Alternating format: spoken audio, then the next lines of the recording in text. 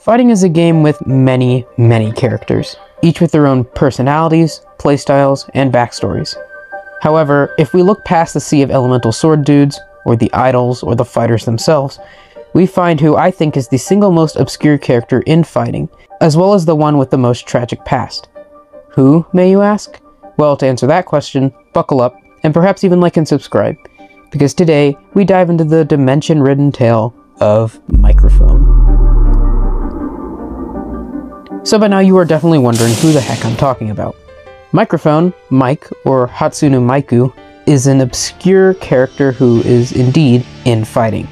And yes, like every other character, she's based off of an old Roblox gear, specifically the old microphone gear. Now, where is she in the game? I mean, obviously there's no model for her, and she's not one of the idols, she's not one of the sword dudes, she's not one of the fighters, so who is she? Well, if you go into the Phighting lobby, you can find flyers of her strung all around Crossroad, and from first glance, she appears to be an idol just like Dom and Val. That's all one can gather from the game itself, but that's not where our story ends. Mike's lore is not something told in game, but rather told through YouTube videos, text conversations, and other things all made by the character's creator, Signal. Now, before we dive into this, please note that this isn't necessarily 100% canon to the lore of Phighting, but I am choosing to talk about it regardless due to how it pertains to the game and its characters. You can take the information however you wish to. So, what do these videos and messages reveal? Well, they detail her relationship with Boombox and her struggles with amnesia. I will be linking these videos in the description now because you should really check them out for yourself. But anyways, here's a general idea of what's revealed.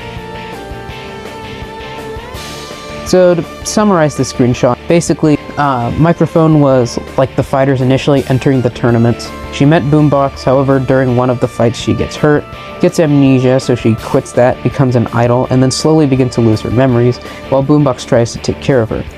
And eventually she forgets about Boombox altogether, and moves on to do other things that are just outside of the realm of Phighting as a game. We can assume from we can assume the video signal uploaded recently takes place before her rise to fame considering, well, she still knows Boombox. Mike is also clearly depressed considering she is constantly re-meeting Boombox over and over, which has certainly taken a toll. We do know eventually she forgets him altogether, so um, it's unknown if she still has that sort of lingering depression or guilt or anything, but um, we'll just have to see. It's certainly a tragic past, but it's also a good one that serves to better flesh out the interesting world of Phighting. And with that, I think I'm going to end this video here. I hope you enjoyed. And one big thanks to Signal for basically pointing me in the right direction for this. It was fun to figure out. But anyways, be sure to like and subscribe, and I'll see you all next time. Bye.